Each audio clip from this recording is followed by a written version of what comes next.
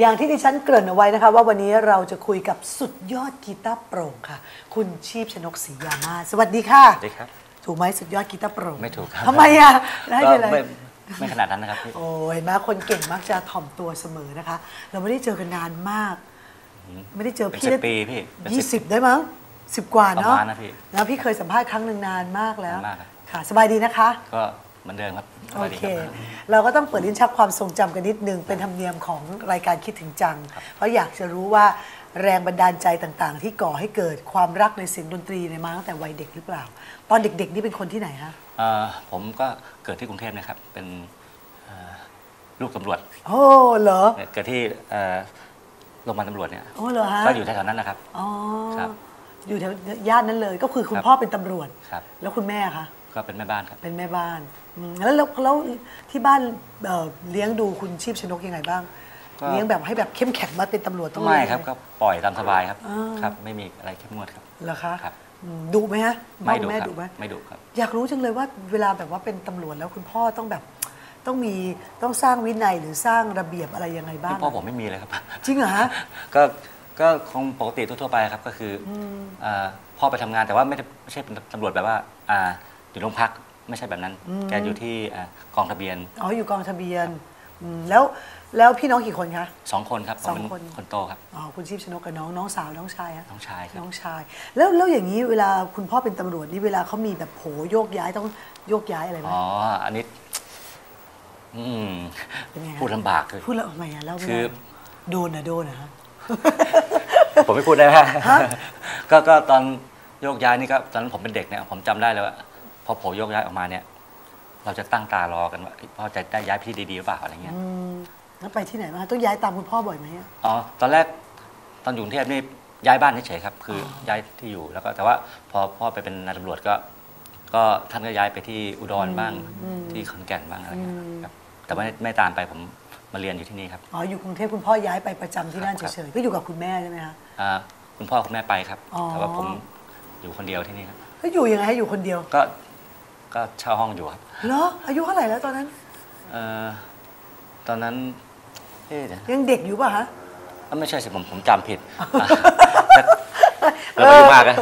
คือมันเป็นอางี้ยุพี่ มากยังไม่มากเลยนะ มันเป็นงี้พี่ มันเป็นคือว่าอ่า ตอนอยู่กับกองทะเบียนเนี่ยอืมผมเรียนที่หอวัง อ๋อโอเค ก็คุณพ่อย้ายไปที่ขอนแก่นจะย้ายย้ายไปก่อน แล้วก็ผมก็ไปสอบที่ขอนแก่นแล้วได้ก็ย้ายตามไปแต่ว่าโรงเรียนอยู่ในเมืองแต่ว่าพ่ออยู่ที่อำเภอเล็กๆครับอ๋อค่ะ แล้วชีวิตของการโยกย้ายที่ต้องปรับตัวเยอะไหมคะก็โดยมากท่านไปอยู่ที่อำเภอเล็ก ๆ แล้วผมเข้ามาเรียนในเมืองในจังหวัดเนี่ยผมก็เช่าหอพักอยู่ครับ อืมครับแล้วก็อยู่กันตั้งอยู่แบบเช่าหอพักอยู่ตั้งแต่ใช่ เด็กๆเลยเหรอก็เก่ปงระมาณเนอะประมาณม มสี่มห้ามหกอยู่คนเดียวอืมค่ะ แล้วแล้วตัวคุณชีพชนกเองเป็นเด็กยังไงฮะจำได้ไหมวัยเด็กของเราเป็นเด็กเป็นเด็กซนเด็กดื้อหรือเด็กเงียบอาเงียบๆครับเหอแต่ตอนเด็กๆก็จะเป็นแบบตัวผอมๆหัวโตๆแล้วก็ชอบชอบแต่ฟุตบอลชอบเล่นกีตาร์อะไรอย่างเงี้ยอ๋อแสดงว่าฟุตบอลกับกีตาร์ที่ชอบตั้งแต่เด็กชอบครับๆเหรอฮะทำไมถึงชอบกีตาร์คะกีตาร์นี่อ่าเริ่มหัดเล่นตั้งแต่อายุเท่าไหร่ผมจำไม่ได้อะพี่โอ้เด็กๆเลยก็คือ เจ็ดขวบแปดขวบไหมเกินมั้งครับอ่าปสิบระมาณมไม่ใช่มนะมหนึ่ง มหนึ่งก็น่าจะมหนึ่งสิบเอ็ดสิบสองครับประมาณนั้นครับ คือคุณพ่อเขาไปเอากีตาร์จากโรงจำนำคือ พ่อไปเอาจากโรงจำนำ จริงๆครับ ก็คือเหรอฮะอ่าอ่าพ่อผมเนี่ยทำงานเกี่ยวกับแผนก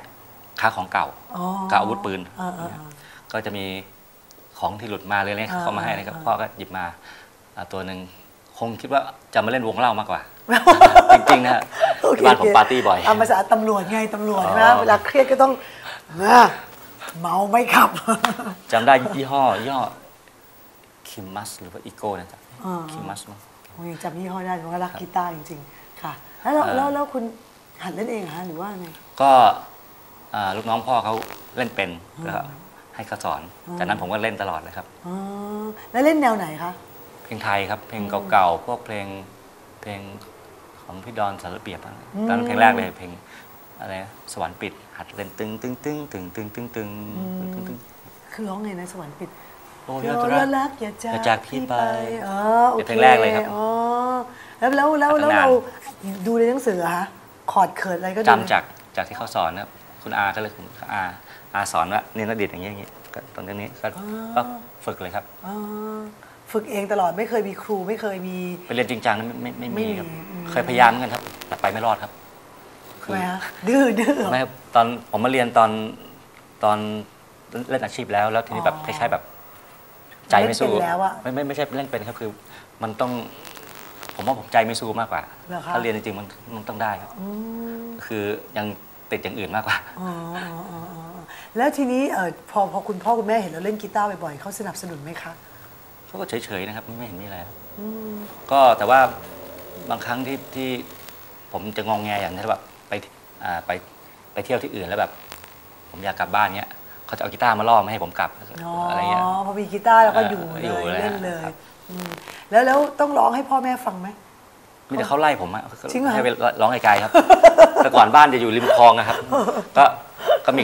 คลองมีเรือ ผมก็พายเรือ เก็บผักบุ้งอะไรพวกเนี้ยแล้วก็อ่า แม่เขาคงหนวกหูว่า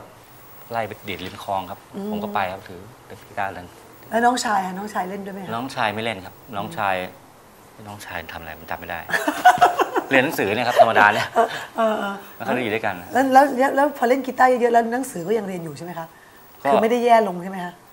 ผมจำไม่ได้น่าจะแย่ลงไม่ไม่แย่หรอกครับไม่ไม่แย่ยังไม่ถึงขนาดแบบว่าตั้งวงหรือว่าหนีไปซ้อมดนตรีอะไรอ๋อตอนนั้นยังครับ ยัง แต่มีแน่ๆครับ อ๋อ มีแน่ๆเลยช่วงหน้าอ่าช่วงวัยรุ่นขึ้นไปพอโตขึ้นไปนี่อาจอาจจะกล้ามากขึ้นใช่ไหมครับ กล้าหนีโรงเรียนอะไรอย่างมีเงี้ยมีพวกมีพวกมามีพวกมีพวก แล้วตอนวัยเด็กฝันไหม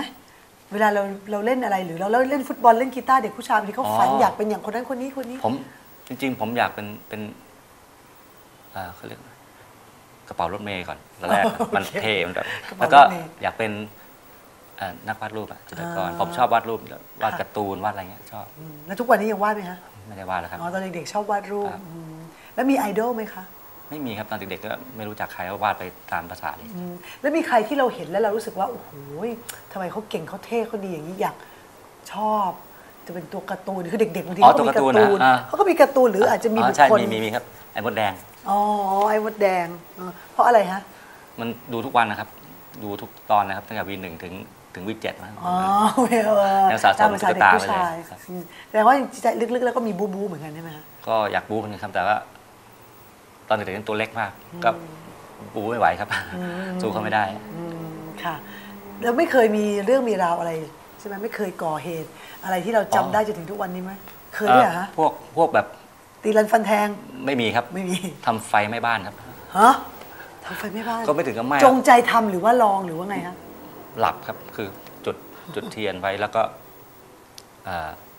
ตื่นมาก็ควันขโมงเลยครับ แล้วก็ไหม้ไปแถบนึงครับเหรอครับไม่ใช่บ้านเราด้วยครับอ๋อแล้วบ้านใครฮะบ้านแม่นมครับอ๋อแต่ตัวเราไม่เป็นอะไร ก็ไม่เป็นไรครับดูก็นั่งนั่งดูเฉยๆครับโดนลงโทษไหมฮะไม่ครับเป็นเด็กอยู่ครับเขาคงอ๋อเขาเข้าใจโอ้จนจำได้จนถึงทุกวันนี้นะคะจำได้ครับ